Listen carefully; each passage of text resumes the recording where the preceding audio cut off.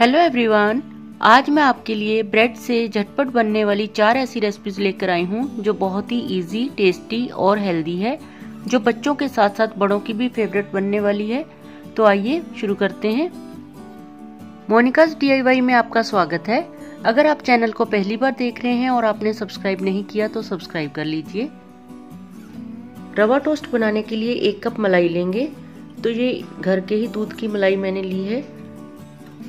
बारीक कटा हुआ प्याज डालेंगे और फिर बारीक कटी हुई शिमला मिर्च डालेंगे। और दो से तीन चम्मच हम इसमें सूजी यानी रवा के डालेंगे।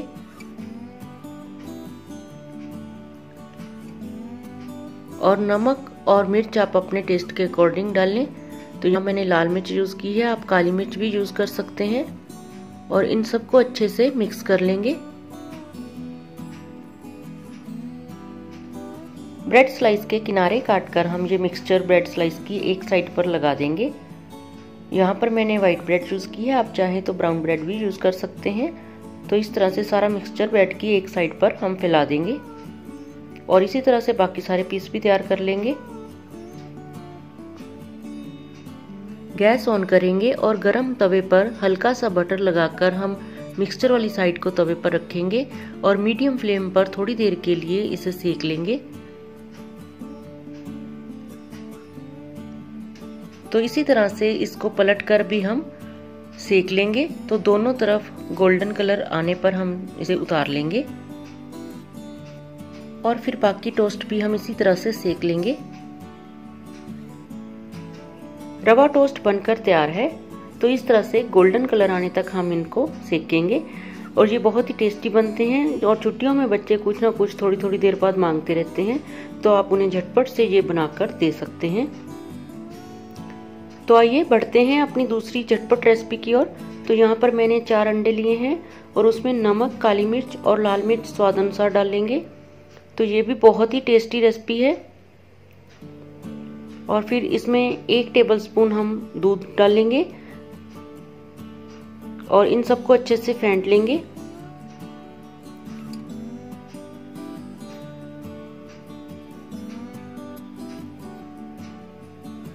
गैस ऑन करेंगे और नॉनस्टिक पैन में थोड़ा सा तेल डालकर हम ब्रेड स्लाइस को इस बैटर में डिप करके पैन में रखेंगे। तो ये भी बहुत ही झटपट तैयार होने वाली रेसिपी है और बहुत ही टेस्टी और हेल्दी भी है। और एग भी हमेशा घर में होते ही हैं, अगर आप एग खाते हैं तो। तो दोनों तरफ़ से गोल्डन कलर आने तक हम इसको सेक लेंगे। तो एग टोस्ट भी बनकर तैयार है। तो आइए बनाते हैं ब्रेड से तैयार होने वाली तीसरी झटपट रेसिपी।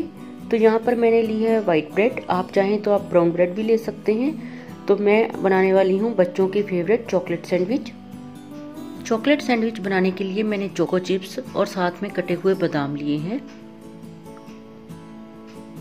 और साथ में मैंने लिया है बटर अब ब्रेड स्लाइस की एक साइड पर हम बटर लगा लेंगे।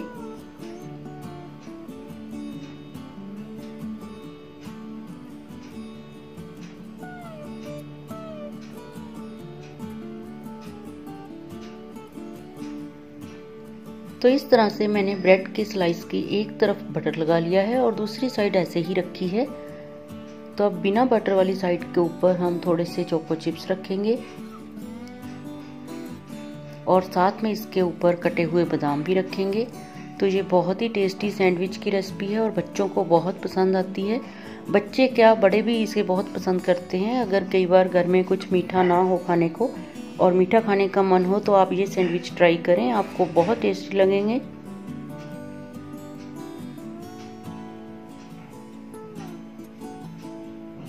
तो इस तरह से मैंने थोड़े से कटे हुए बादाम लगा दिए हैं। और दूसरा स्लाइस ऊपर रखेंगे तो बटर वाली साइड मैंने ऊपर की ओर रखी है, बाहर की तरफ़। इसी तरह से दूसरा सैंडविच भी तैयार कर लेंगे।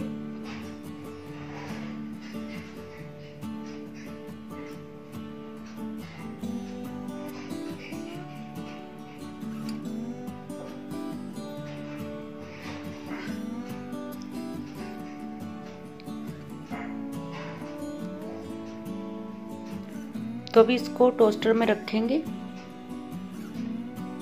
और गोल्डन कलर होने तक हम इसको सेक लेंगे। तो इस तरह का कलर आने पर हम इनको निकाल लेंगे। स्लाइस लेंगे। यहाँ पर मैंने व्हाइट ब्रेड यूज़ की है। आप चाहें तो ब्राउन ब्रेड भी यूज़ कर सकते हैं। हाफ़ कप स्प्राउट किए हुए मूंग लेंगे। अगर आप घर पे नहीं बनाना चाहते तो आप मार्केट के भी स्प्राउट्स ले सकते हैं। और एक पैकेट मैंने मसाला ओट्स लिए हैं, और आप अगर चाहें तो आप प्लेन ओट्स भी यूज़ कर सकते हैं। हाफ़ कप बेसन, हाफ़ कप हरा धनिया पत्ती, one teaspoon ginger garlic paste, नमक स्वाद अनुसार, लाल मिर्च स्वाद अनुसार काली मिर्च वन फोर्थ स्पून थोड़ा सा ऑयल और पानी बैटर बनाने के लिए। तो सबसे पहले मिक्सी के चटनी जार में स्प्राउट्स को डालकर हम पीस लेंगे और पीसने के लिए अगर ज़रूरत पड़े तो थोड़ा सा पानी भी डाल लें, दो से तीन चम्मच। स्प्राउट्स को मैंने पीस लिया है। अब हम ड्राई ग्राइंडिंग जार में ओट्स को डालकर इसका बारीक पाउडर कर लेंगे।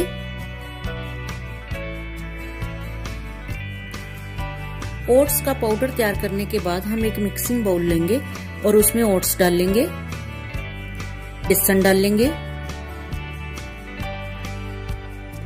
और जो हमने स्प्राउट्स को भी पीसा था उनको भी डाल देंगे। कटा हुआ हरा धनिया डाल लेंगे जिंजर गार्लिक पेस्ट डाल देंगे, और फिर नमक, मिर्च और काली मिर्च हम स्वाद अनुसार डाल देंगे। और इनको बैटर बनाने से पहले एक बार हम चम्मच से अच्छे से मिक्स कर लेंगे और फिर थोड़ा थोड़ा पानी डालकर हम इसका गाढ़ा बैटर तैयार करेंगे। तो इस तरह से मैंने थोड़ा थोड़ा पानी डालकर इसका गाढ़ा घोल तैयार कर लिया है। इसकी कंसिस्टेंसी आप देख सकते हैं। पानी एकदम से ना डाल थोड़ा थोड़ा करके ही डाल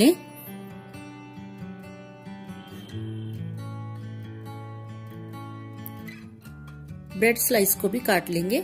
आप अपनी पसंद की किसी भी शेप में काट सकते हैं। यहाँ पर मैंने एक पीस के चार पीस किए हैं, स्क्वायर शेप में काटा है। मोस्टली जब भी ब्रेड पकौड़ा बनाए जाते हैं तो उनको फ्राई किया जाता है। लेकिन आज मैं बिना फ्राई किए हुए ब्रेड पकौड़ा बनाऊँगी। एक नॉनस्टिक पैन लेंगे और उसमें बहुत ही कम ऑयल डालेंगे। यहाँ पर मैंने वन टीस्पून ऑयल यूज़ किया है और उसको ब्रश से अच्छे से फैला दिया है। अब बैटर को भी एक बार अच्छे से मिक्स कर लेंगे। और फिर ब्रेड के जो स्लाइस हमने काटे हैं, उनको बैटर में डालकर अच्छे से कवर करेंगे।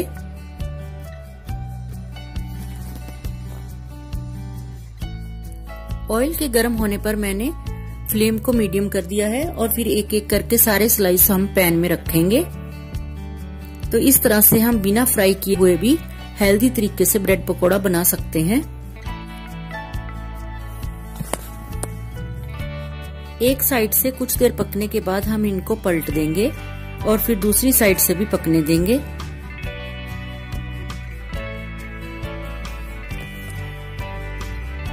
दोनों तरफ़ से अच्छा सा गोल्डन कलर आने तक हम इनको पकाएँगे और फिर निकाल लेंगे। और इसी तरह से मैं बाकी भी बना लूँगी। इस तरह से बनाए हुए ओट्स के ब्रेड पकोड़ा आप अपने बच्चों को टिफ़िन में भी दे सकते हैं और ऑफ़िस में लंच बॉक्स में भी लेकर जा सकते हैं।